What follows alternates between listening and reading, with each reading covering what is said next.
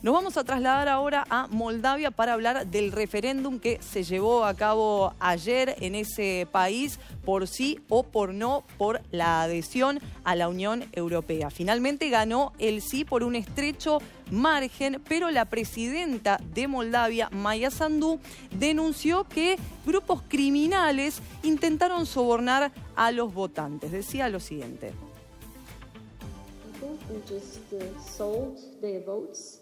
And in any democracy, it's normal to have people who have different views. What's not normal is to have a situation where criminal groups are bribing voters. I'm blaming the criminal groups uh, who are using the dirty money uh, to buy the Moldovan votes.